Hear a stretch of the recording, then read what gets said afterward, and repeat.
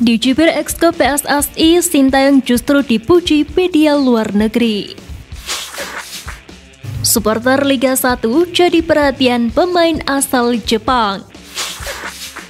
Erick Thohir singgung Stadion Jis.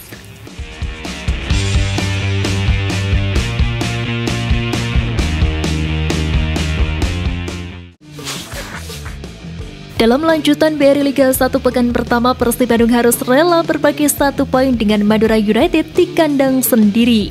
Hasil imbang 1-1 itu masing-masing gol dicetak oleh Hugo Gomez pada menit ke-5 dan David Da Silva melalui titik penalti pada menit ke-79. Sementara di laga lain, Barito Putra sukses mengalahkan tamunya Persita Tangerang dengan skor 2-0 melalui aksi Gustavo Tokatins pada menit ke-14 dan Rizky Pora pada menit ke-26. Dewa United juga berhasil meraih kemenangan usai melibas Arema dengan skor 1-0 melalui gol Alec Martins pada menit ke-75.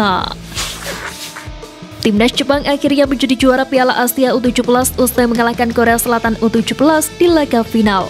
Pada laga tersebut, tim berjuluk Samurai Biru itu mengalahkan Taeguk Warriors dengan skor 3-0 di Stadion Patum Tani, Thailand pada minggu malam kemarin.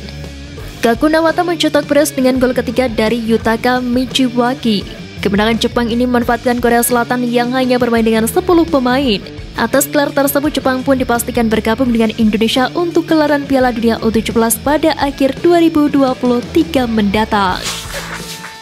Kabar terbaru muncul dari pemain abroad Indonesia Asnawi Mangkualap.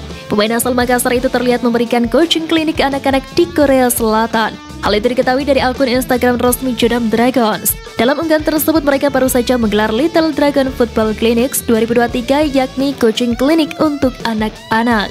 Acara tersebut diikuti sekitar 300 anak-anak dan orang tuanya. Asnawi bukanlah satu-satunya pemain yang mengikuti coaching klinik tersebut. Beberapa pemain Jodam Dragons lain turut ambil bagian dalam acara itu. Anak-anak pun terlihat antusias mengikuti instruksi dari Asnawi dan kolega. Pelatih Ipswich Kieran McKenna melemparkan pujian terhadap timnas Indonesia Elkan Bagot. Pemain berusia 20 tahun ini sudah selesai dari masa peminjamannya dan ia pun kembali ke Ipswich dan terbaru ikut dalam pertandingan pramusim. Kami menyukai Elkan, kami pikir dia memiliki atribut yang sangat-sangat bagus. Ucap McKenna dikutip dari TWTD. Walau demikian, mantan asisten Manchester United itu mengindikasikan bahwa Elkan bakal dipinjamkan lagi di musim 2023-2024. Hal itu demi menit bermain yang banyak. Sebelumnya, back jangkung ini juga menjalani masa peminjaman di Gillingham LC dan Cheltenham LC. Namun bersama Cheltenham, Elkan tak dapat menit bermain yang cukup. Pemain asal Jepang yang kini membela PSI Semarang Taisi Marukawa kini menyoroti tingkah supporter di Liga 1 Indonesia. Marukawa berkarir di Indonesia sejak tahun 2021. Dirinya mengaku betah berkarir di Liga Indonesia. Banyak hal yang ia dapatkan selama tinggal di Indonesia. Salah satu hal yang jadi perhatiannya ialah bagaimana militansi supporter di Liga Indonesia. Menurut Taisi Marukawa, supporter di Indonesia memang memiliki militansi mendukung klub kesayangan tetapi mereka cepat tersulut emosi. Menurut Taisi Marukawa, supporter Indonesia sangat ingin klub kesayangan mereka untuk bisa meraih kemenangan, seri atau kalah bisa membuat pemain mendapatkan intimidasi dari para supporter. Seperti diketahui, Sintayong baru-baru ini kembali disentil lantaran tak bisa memberikan trofi ciki-ciki untuk Indonesia. Cipiran itu dikeluarkan oleh Arya Sinulinga ketika menjawab pertanyaan dari netizen. Meski dikritik oleh pengurus PSSI, kinerja Sintayong justru diakui oleh media Inggris Racing Ballers beberapa hari yang lalu. Timnas Indonesia disebut perkembangannya menarik dibanding negara Asia Tenggara lain. Sejak Sintayong menangani timnas, Scott Garuda memang membuat kemajuan. Para pemain timnas Indonesia kini banyak dihuni oleh para pemain muda. Dengan kemajuan tersebut, membuat pemain keturunan memilih untuk yakin pembela timnas Indonesia. Usai berkomentar pedas terhadap prestasi Sintayong, Arya Sinulinga kini dibalas oleh pengamat sepak bola Justinus Laksana.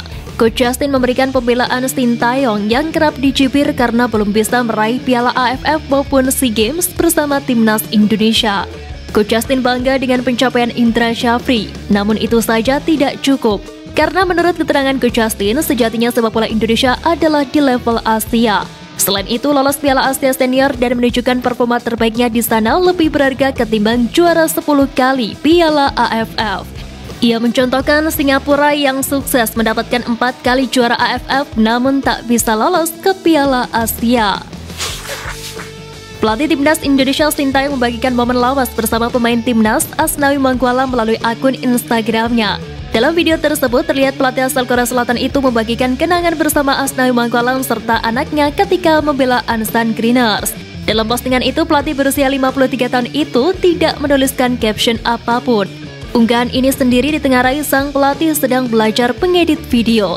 Tak ayal netizen langsung menyerbu komentar Asnawi Mangkualam di unggahan Sintayong. Pemain yang berkarir di Junam Dragons itu disebut bak anak kesayangan pelatih asal Korea. Pemerintah berencana melakukan renovasi di Jakarta International Stadium terkait gelaran Piala Dunia U17. Ketum PSSI Erick Thohir mengatakan rencana renovasi tersebut menunggu hasil pengecekan FIFA. Erik menjelaskan FIFA akan mengecek stadion-stadion mana saja yang layak digunakan untuk venue Piala Dunia U17 termasuk JIS salah satunya. Namun dia mengaku tidak tahu pasti kapan pengecekan itu akan dilakukan. Menteri BUMN itu melanjutkan renovasi JIS saat ini masih menjadi wacana. Erik sekali lagi menekankan bahwa renovasi tersebut masih menunggu hasil pengecekan dari FIFA.